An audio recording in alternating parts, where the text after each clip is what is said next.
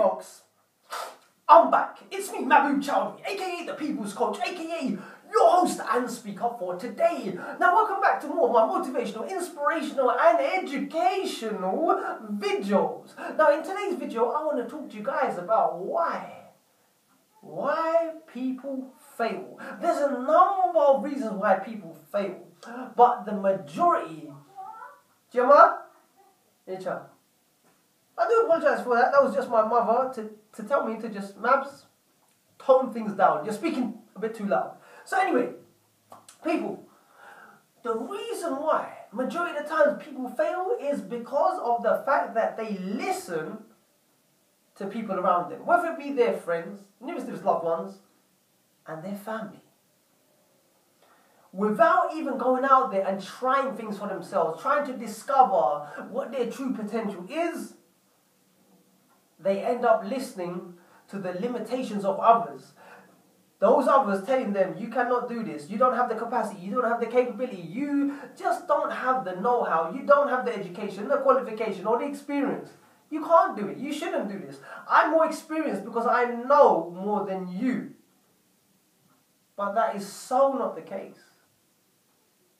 It's because we allow ourselves to be influenced by others, by their decisions. We allow them to determine what our limitations are, our life, how it should be, how, how our life, how, how our life should be led according to their own perspectives and understandings. Because at the end of the day, what it is that they're doing is this. They have a bubble, they have a world that they perceive things in. They have limits, they have boundaries.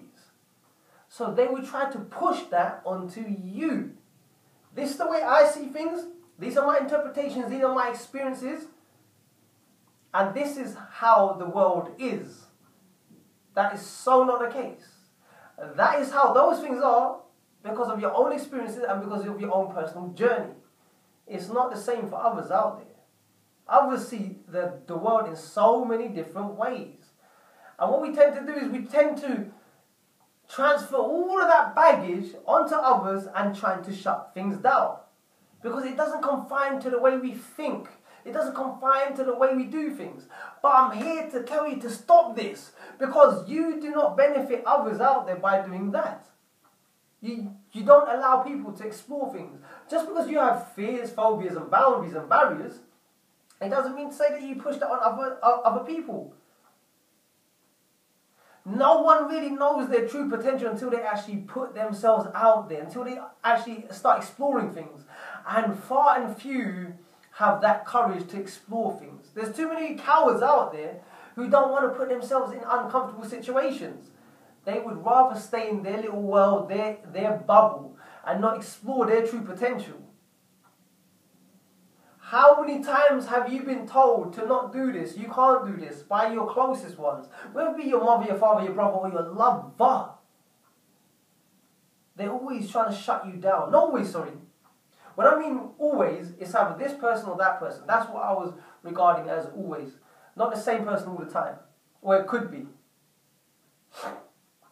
So, people, that's just one of many reasons why you fail because you listen to others.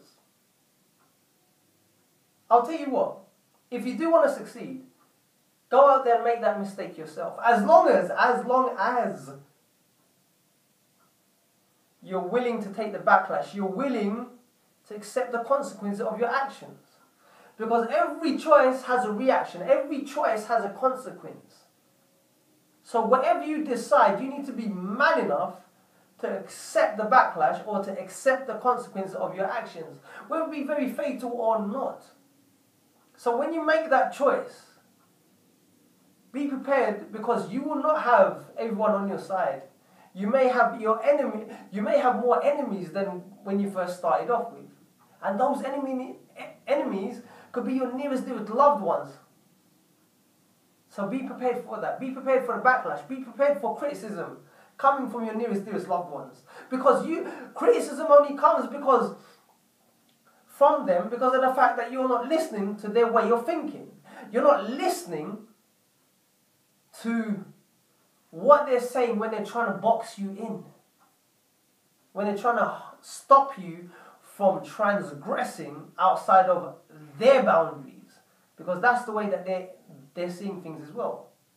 It doesn't confine to their thinking, it doesn't confine to their limits. You're going beyond their limits, so therefore they need to drag you back in. So, be prepared for that type of resistance. Folks, I'm all for advice. But at the end of the day, the choice is yours.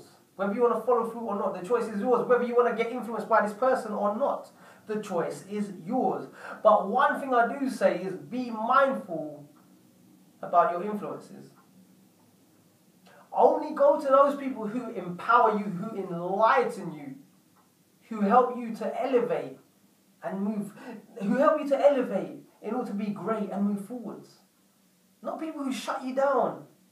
Because they don't know your they don't know your true potential. You do not know your true potential until you actually go out there and expose yourself to the world. So people, that is my rant for today. I hope that's been insightful. I hope that's given you something to think about. Until then, take care, stay strong, stay focused, and always live to learn to empower and inspire the lives of many, as well as yourself. Bye for now.